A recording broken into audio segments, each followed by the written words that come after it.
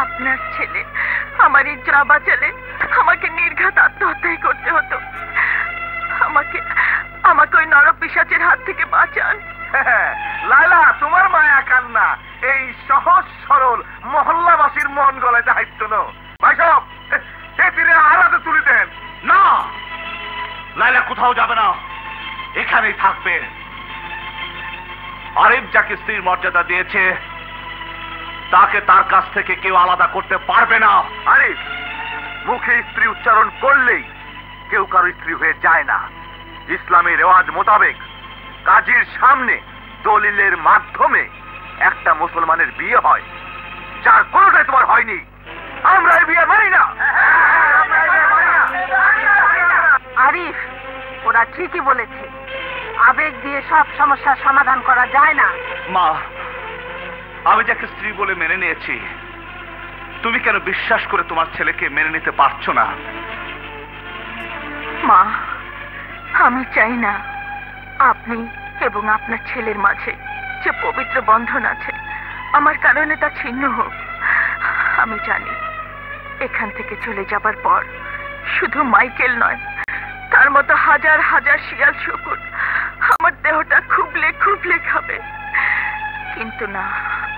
ওই নরকে ফিরে যাবার আগে আমি আমার এই জীবন নিজেই শেষ করে ফেলব। লাইলা এ তুমি কি করছ? ছাড়ো আমাকে ছাড়ো। আমি বাঁচতে চাই না। আমাকে মরে যেতে দাও মরে যেতে। লাইলা না লাইলা আমি বেঁচে থাকতে আমার চোখের সামনে তোমার মৃত্যু হতে পারে না। আমার মা হয়তো সমাজের দিকে তাকিয়ে তোমাকে গ্রহণ করতে পারছে না। কিন্তু আমি সমাজের মিথ্যে নিয়ম কানুন উপেক্ষা করে তোমাকে আপন করব। হ্যাঁ লাইলা এটাই আমার ফয়সলা। আরিফ ঠিকই বলেছে লাইলা এতক্ষণ সমাজের মিথ্যে আবেগের শিকড়ে আমি বন্দী হয়েছিলাম ভুলে গিয়েছিলাম। সমাজের নিয়ম কানুনের ঊর্ধ্বে মানবতা বলেও কিছু আছে।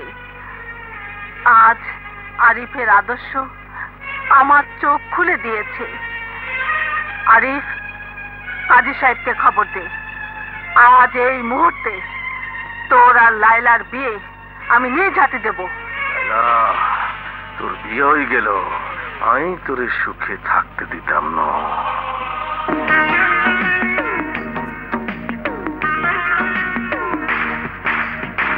অন্তরে তুমি নিঃশ্বাসে তুমি মিশে আছো থাকবে সারা জীবন। জীবনে মরণে সুখের স্বপনে